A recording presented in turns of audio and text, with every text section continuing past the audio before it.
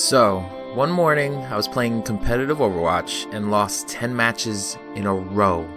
In a row! There may have been one draw, I don't know. I was at 2600, then went all the way down to 2300 in just one morning. I was so frustrated and was desperately trying to get my score back, but no success. I'm sure we all have a story similar to this one. Then I kinda stumbled upon something.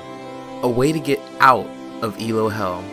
A way to win 9 out of 10 games to help me get back up to 2600.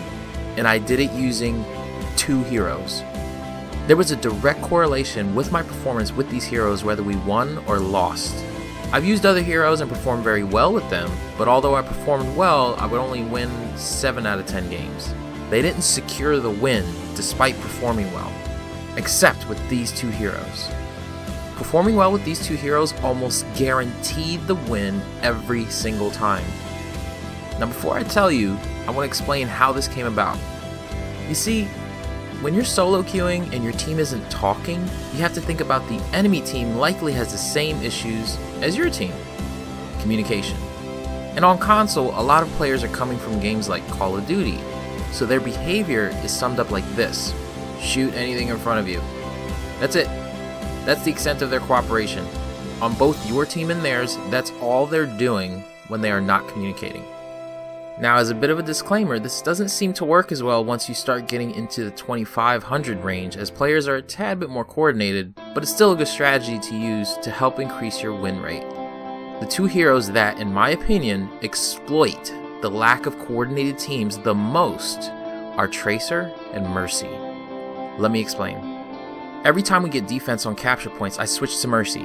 Why? Because as Mercy, I can fix my team's mistake of dying. Remember, their focus is just shooting things in front of them and killing it. So as Mercy, my goal is to get my revive as fast as possible so that I can just hide and wait for the enemy to stack their ultimates and bring my team back to life. I try to spam the group up option when I notice the team is separating, for the most part it works. I only use her though on the first point of a hybrid map like Kings Row or Hollywood and definitely on capture points like Anubis and Volskaya. Halo maps are just difficult finding the right positioning since it's always changing where you should set up camp.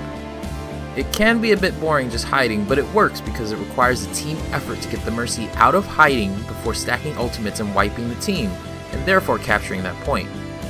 Yes, you can have a good flanker like Tracer and Genji to find the Mercy and force her out, but remember, team isn't coordinated, so they don't know that it's a good time to ultimate stack when the Mercy is with her group. And plus all you do is fly to your team and they'll just shoot anything in front of them, like Genji or Tracer that's chasing you. It's extremely important that you do not die.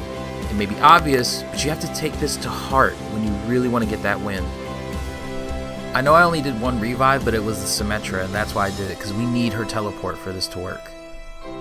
A really good Symmetra, believe it or not, goes really well with the Mercy to constantly keep bringing the team back into a fight after dying, including you if you die as a Mercy and have a revive ready.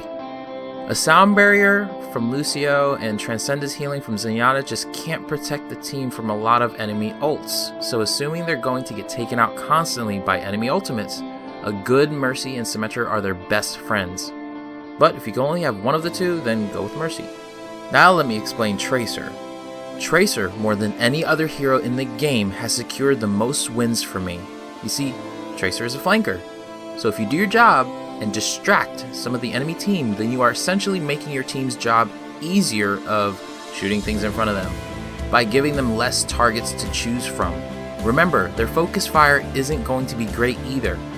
I've had healers chase me around the entire map trying to kill me, and leaving their team completely without heals, because they were the only one. I've had Reinhardts chase me around the whole map rather than protecting their team. Again, Tracer just exploits this lack of coordination and the mentality of shoot everything you see. Now, you may be thinking, what about Tracer's counters, like McCree, Roadhog, Soldier, or even Winston? Well, let me tell you, those heroes are only counters to you if you let them. Take Winston for instance. His mobility is insane, but it's no match for Tracer's mobility. For every leap he has, Tracer gets two blinks. And she does major damage to him at a distance because despite her weapon spread, his critical hitbox, aka his big head, is easy for her to hit. For others like McCree and Roadhog, every good Tracer knows that you need to bait that flashbang. to bait that hook. Once you trick them into using it, you can dance all around them. So Tracer doesn't have any real hard counters as you may think, only if you can get her to exhaust all her blinks so she has nowhere to go. But again, a good Tracer knows if you keep reaching for one of those blinks, then it's time to pause and take a break in a corner somewhere, get at least two blinks back, then go back into the fight.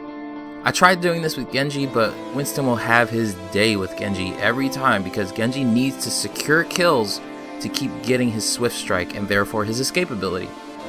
Yes, he climbs walls, but not like he used to since the nerf, and not all maps have the ideal environment for him to have walls to climb up and get away. Now I'm not going to rule out a good Genji completely, but Tracer is easier to use and doesn't need her team's support as much in order to operate. Also, her ultimate doesn't require the team's help as much as Genji's. So again, just like with Mercy, the most important rule about Tracers is that you do not die. Once you die, you have to spawn and get back behind the enemy safely, which takes a lot of time, and your team could have been wiped by being a man down when you finally do get back. Your first goal is to distract between one and three players. Any more than three, they're probably going to take you out very quickly, and at that point, you just need to run and hide.